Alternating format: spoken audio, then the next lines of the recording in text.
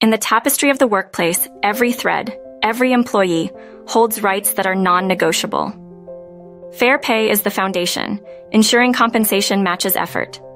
Respect and a discrimination-free zone form the core of daily interactions, while safety weaves a protective layer around each worker.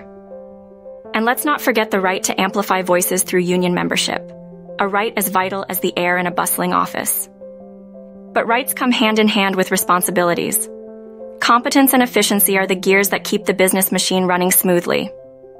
Adhering to policies and safeguarding the company's reputation are the silent vows each employee takes ensuring the collective fabric remains unblemished and strong.